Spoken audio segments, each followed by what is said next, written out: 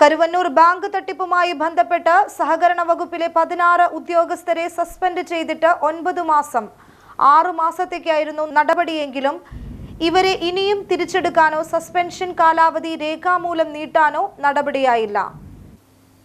മുന്നൂറ് കോടിയുടെ തട്ടിപ്പ് നടന്ന കരുവന്നൂർ സഹകരണ ബാങ്കിൽ പരിശോധനകളിലും ഓഡിറ്റിംഗിലും നടപടി സ്വീകരിക്കുന്നതിലും വീഴ്ച വരുത്തിയെന്ന കാരണത്താലാണ് ഉദ്യോഗസ്ഥരെ സസ്പെൻഡ് ചെയ്തത്. രണ്ടായിരത്തി ഇരുപത്തൊന്ന് ഓഗസ്റ്റ് പതിനൊന്നിനാണ് നടപടി സ്വീകരിച്ചത്.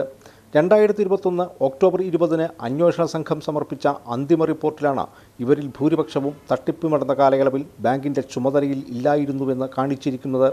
രണ്ടായിരത്തി പതിനെട്ട് മുതലാണ് ബാങ്കിൽ വ്യാപകമായ തട്ടിപ്പ് നടന്നതെന്ന് റിപ്പോർട്ടിൽ പറയുന്നുണ്ട്. എന്നാൽ രണ്ടായിരത്തി പതിനൊന്ന് മുതൽ സർവീസിലുണ്ടായിരുന്നവർക്ക് നേരെയാണ് സസ്പെൻഷനും മറ്റു നടപടികളും സ്വീകരിച്ചത്. വിരമിച്ചവരുടെ പെൻഷൻ പണം തിരിച്ചുപിടിക്കാനും ഇതിൽ തീരുമാനമായിട്ടുണ്ട്. മാളാവിഷൻ ഇരിഞ്ഞാലക്കുട. കഴിഞ്ഞ ഇരുപത് വർഷമായി സാധാരണക്കാർക്ക് ആശ്രയമായി സാധാരണക്കാർ നടത്തുന്ന സ്ഥാപനം. എല്ലാത്തരം ആഭരണങ്ങളും ഒരേ പണിക്കൂലിയിൽ. ഇരുപത് വർഷത്തെ വിശ്വസ്ത സേവന പാരമ്പര്യവുമായി ബ്രൈറ്റ് ഗോൾ പടിഞ്ഞാറേ നട ശ്രീകുമാര സമാജം ബിൽഡിംഗ് കൊടുങ്ങല്ലൂർ.